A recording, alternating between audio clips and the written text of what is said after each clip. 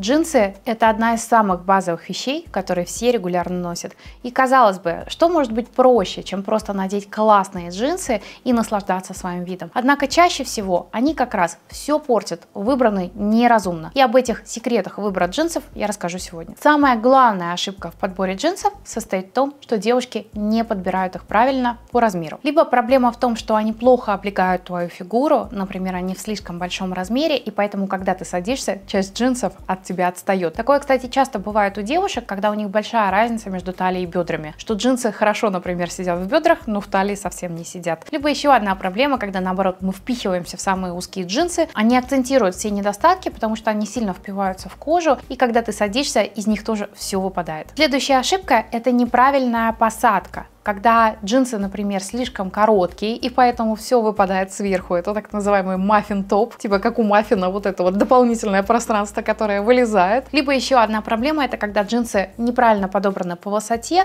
потому что у всех девушек вот это вот расстояние до паховой зоны, оно очень разное. И поэтому что может быть? Что, например, у тебя это расстояние длинное, а у джинсов оно короткое, и поэтому все предательски врезается в пах, образуя вот такие вот складки. Более того, в этом не очень удобно сидеть. И в таком случае можно воспользоваться воспользоваться простым лайфхаком. Можно отдать джинсы портной для того, чтобы она углубила тебе линию шва. В таком случае джинсы не будут вот так вот собираться в этой зоне. И сейчас в моду возвращаются нулевые, а вместе с ними тренд на низкие джинсы. Однако такой фасон подходит абсолютно не всем, потому что если у тебя выраженные бедра, то ты в них будешь выглядеть очень полной. Если есть видимый живот, то в таком случае лучше его припрятать с более высокой посадкой, нежели чем открывать все это безобразие открытыми джинсами. Самая универсальная модель джинсов это прямые джинсы, которые подойдут любой фигуре. Высота посадки джинс выбирается исходя из того, хочешь ли ты спрятать зону живота, хочешь ли ты подтянуть эту зону. Поэтому, если ты не очень худая, то в таком случае лучше выбрать джинсы на средней либо на высокой посадке. С точки зрения самого фасона джинс, если у тебя выраженные бедра, то хорошо сбалансировать это помогут джинсы клеш. Джинсы скини, хотя 2000-е тоже возвращаются,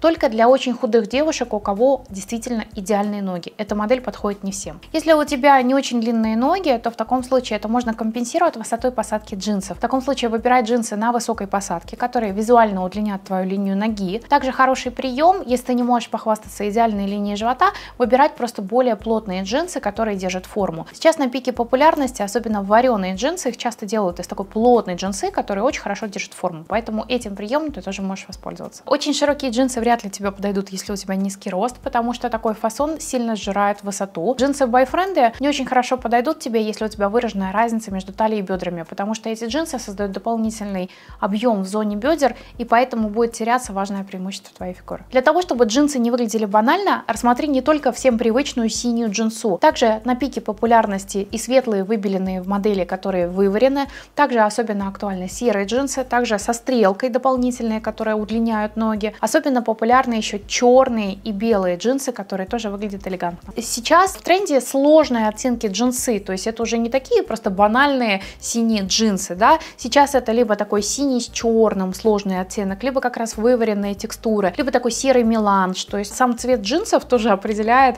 в каком году они куплены, и сейчас варианты такие более сложные. Стиль складывается из огромного количества компонентов, и сейчас мы разобрались только с джинсами, однако еще столько факторов, которые необходимо учесть. Это и правильная посадка, и что сейчас в тренде, и как определиться со своим стилем, и также детали типа украшений или правильного правильного подбора белья. Все это очень важно, и поэтому, если ты хочешь регулярно узнавать эту информацию и оставаться в тренде, не тратя при этом много денег, то подписывайся на мой канал, потому что обо всем этом я рассказываю здесь. С тобой была Алина, эксперт по подбору белья. Ставь лайк этому видео, если оно тебе понравилось, и до новых встреч!